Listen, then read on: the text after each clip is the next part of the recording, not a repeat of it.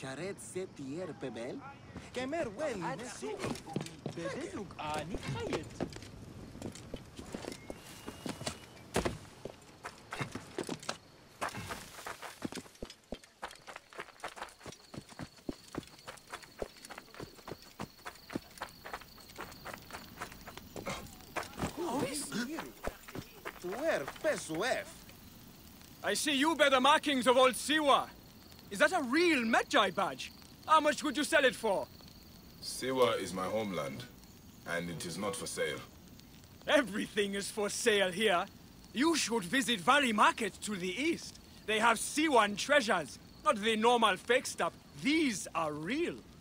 I would be interested to meet anyone selling genuine Siwan treasures. Are you sure you do not want to sell that badge? No matter. Look for the stall under the bird's nest. You will thank me.